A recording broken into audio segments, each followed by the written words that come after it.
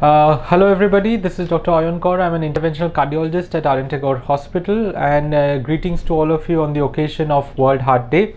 And the slogan this time is uh, connecting heart uh, with uh, everybody else's hearts. And so we are talking about wholesome cardiovascular health.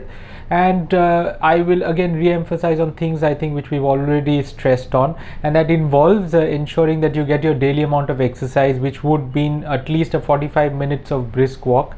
Uh, ensure that you get lots of healthy green vegetables and fruits. Ensure that your salt intake is limited as well as uh, ensure that you drink lots of water.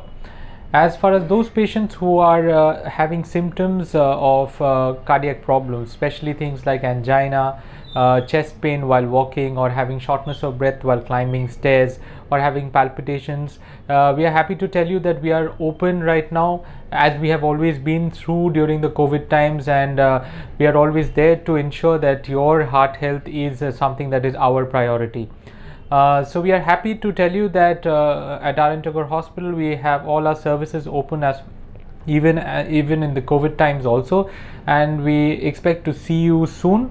And so stay safe and ensure that your heart remains healthy. Thank you so much.